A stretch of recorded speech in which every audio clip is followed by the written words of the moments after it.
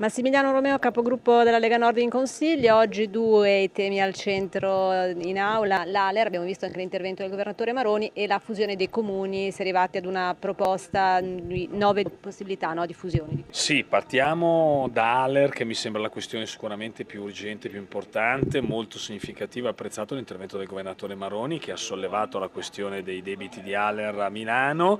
e ovviamente ha proposto con la due diligence il fatto di assolutamente fare una mappatura della, della, della, della società e delle società partecipate e purtroppo è arrivato insomma, alla considerazione che ci sono tantissimi problemi. Questo rapporto è stato consegnato oggi al Consiglio, dal Consiglio attraverso la Commissione dovremo ovviamente prenderne atto e lavorare per fare una legge che assolutamente intervenga sull'organizzazione di ALER per far sì che in futuro non possano più accadere certe cose. I temi sono tanti, valorizzazione del patrimonio, manutenzione, criteri per l'assegnazione, insomma sono tante le questioni ma bisogna soprattutto lavorare sull'organizzazione per far sì, ripeto, che in futuro eh, questa società che ha una grandissima funzione sociale possa davvero avere diciamo così, il pareggio di bilancio. Questione fusione dei comuni, c'è stato un referendum nel mese di dicembre. Sì, sì, sono diverse le richieste di referendum che sono arrivate, referendum si sono tenuti in un'unica giornata, referendum day, per creare anche naturalmente un risparmio per evitare spreco di danno pubblico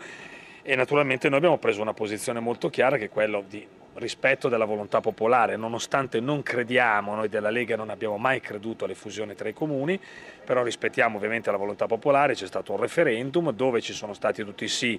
diremo sì, daremo il nostro voto favorevole, dove ci sono stato anche un solo no, diremo daremo parere negativo. Ecco, c'è da dire che su una ventina di referendum più della metà